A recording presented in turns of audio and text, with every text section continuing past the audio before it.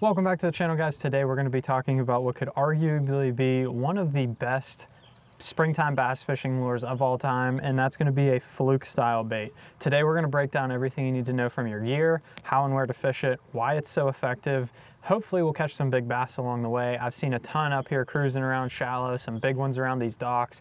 Perfect conditions for doing this type of technique in the springtime, right before they go to spawn, while they're spawning, post spawn, like that time of year. This is probably one of the best baits and you cannot beat it over some of the other stuff that you can choose from. Uh, so stay tuned, let's get right into it. We're gonna start catching some fish on the fluke.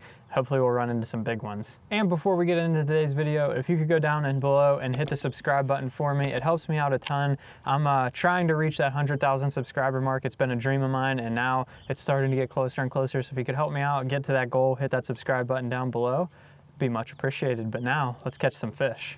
All right, so we're in this area right here, uh, basically fishing these shallow flats, looking around for any type of fish, pre-spawn, spawn, post. There's probably no post spawners yet, but there's definitely pre-spawners, fish that are actively spawning uh, cruising around on these flats. We have some grass and scattered rock, and then the more important parts are going to be those docks.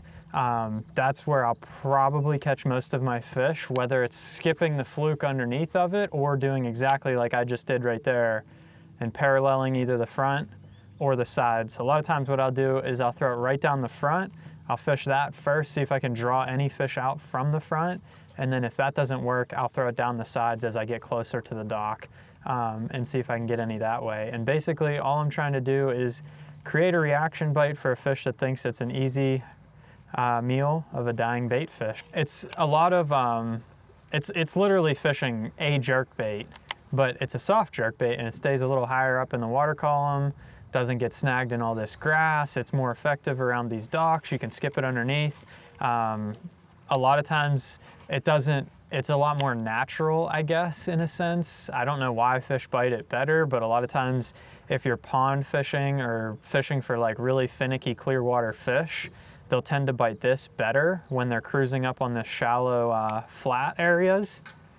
And I backlashed, which happens. Um, but that's kind of what we're, we're targeting here.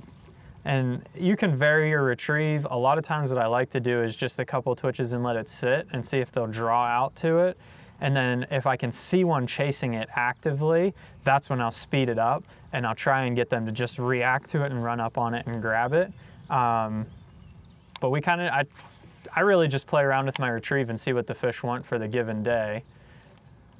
And try to make accurate casts around these docks, which is sometimes pretty difficult. The fish today definitely seem to be grouped up in small areas. So, I mean, we could go quite a while without even seeing a fish and then all of a sudden run into a whole bunch of them. But uh, that's kind of what we're hoping for. We're just gonna kind of work this around and cover some water with it. The nice thing is since you can fish it quickly, you can cover water with this thing. And then if you find some that you need to entice into biting, you can like work it right in their face really slowly like this. Um, so it's really just a matter of the fish's mood on the given day, but that's one reason, um, I mean, you can even throw this thing out there and just let it sink like a Senko almost because it shimmies on the way down as it falls with that hook Texas rigged in the belly like that. Um, so there's multiple different ways you can fish this and you can adjust it to the mood of the fish. And I think that's probably what makes it so effective for these springtime bass. Um, they just really can't resist it and it's hard to catch them on uh, Sometimes when it's hard to catch them on anything else, this bait always uh, pulls through for me.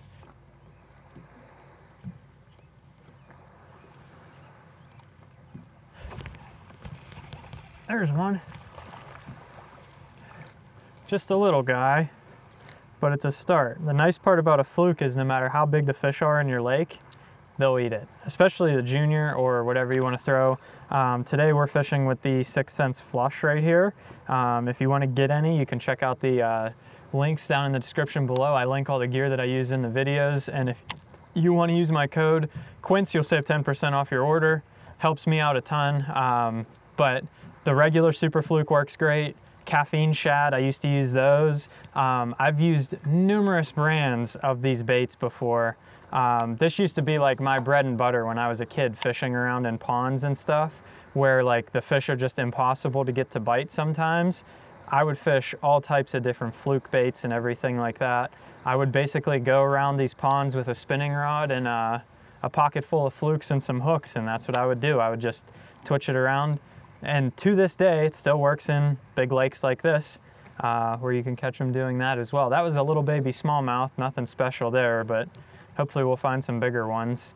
Um, right down the front of that dock, I was just paralleling it. I mean, that fish could have just been like staging up underneath, or who knows what that fish was doing, but he was just hanging out there. And uh, when that fluke came by, he just couldn't resist it. So we'll keep twitching it around. Um, I do have this flush. I have a watermelon red one since the water's so clear um, and there's a lot of bluegills in this lake and perch and stuff like that. I wanted a more like natural bluegill type color rather than um, like a shad. Usually I use like a white or a baitfish color, um, but I went with a lot of like my more natural colors today. And hopefully it was the correct decision. Although with the overcast, I could see a white one working pretty well today too, just because they can see it from a far way away. Um, and also smallmouth just like bright colors. And then I have this rigged up on a seven foot medium heavy, just a basic casting rod. The basics, um, I've fished them on spinning rods before. Really anything medium, medium heavy will work just fine. I have a 5 aught extra wide gap hook, have a Texas rigged on there, weightless, and then about 12 to 18 inches up, I do have a swivel. Sometimes I use it, sometimes I don't. Um, it's really dependent upon how fresh my line is, to be honest with you. So I just started fishing this season and this is brand new line. I didn't want to mess it up, so I put that swivel on there so that just that last 18 inches of your line will get all twisted up and the rest of it's still good. Once you're done fishing the fluke, you can cut the bait off and keep fishing. Um, I do have 15 pound test fluorocarbon to make sure that I can get these fish away from these docks and get a good hook set. Um, I'm using my Cashion Icon worm and jig rod and my Curado MGL that I always use for this. So um, standard seven foot medium heavy setup, basically the same thing I always use and we'll see if we can find us some bigger ones. There's another one. He's such a baby. We're gonna find a big one, I promise you that. But it is a fun numbers bait. Caught both a largemouth and a smallmouth so far. Little dude, see you buddy. There's actually a smallmouth on bed right here, and we'll see if I can get him to bite the fluke too. A lot of times what you can do is actually lay this on their bed and then twitch it and it'll make them react to it. Got her.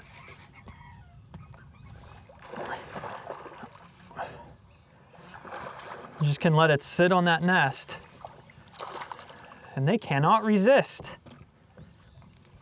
Nice one. Nice little smallie. Of course the back camera wasn't recording, but uh, there you go. Little smallmouth bass right there. Uh,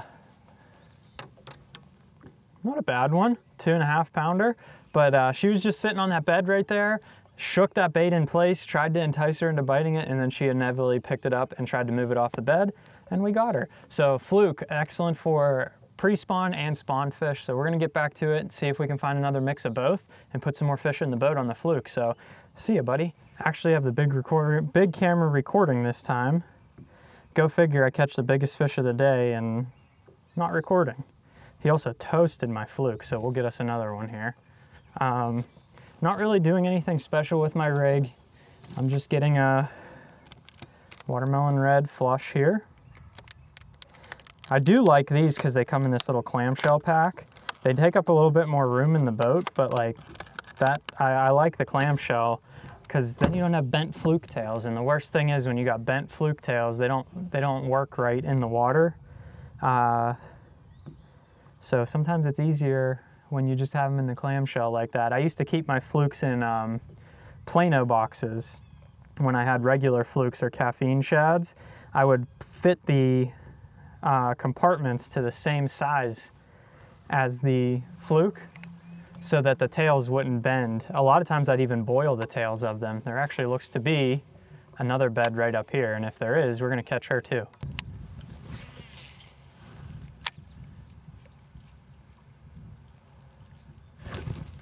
Big one. Big one. That was sweet. I literally watched him wake on that.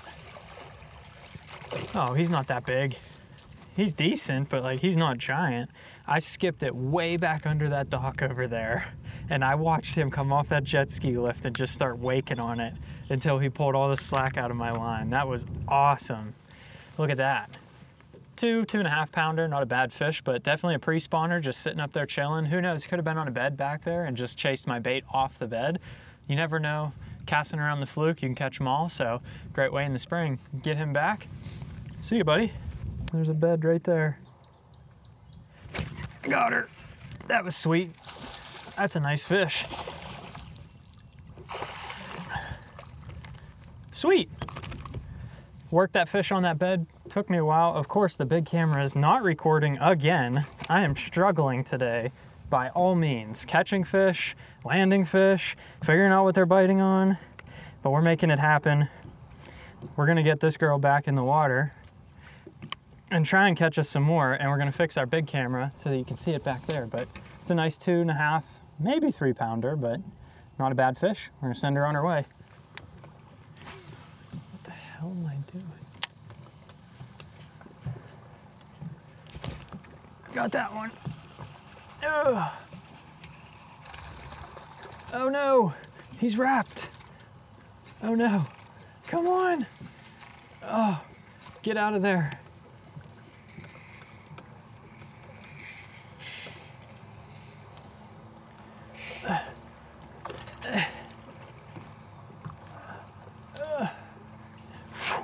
Wow, that was quite the catch right there. Tiny one, but we caught another little cruiser sitting around out here. The fluke bite has absolutely kind of gone away today. Uh, as soon as that sun got out and the wind started blowing a little bit and the water, water got warmer, those fish have moved on. I think they're all on beds. I've seen tons and tons of beds. We got some other videos we got to get to filming, but I hope you guys enjoyed today's video talking about how to fish a fluke, catching fish with a fluke in the springtime. It's one of my favorite ways to do so.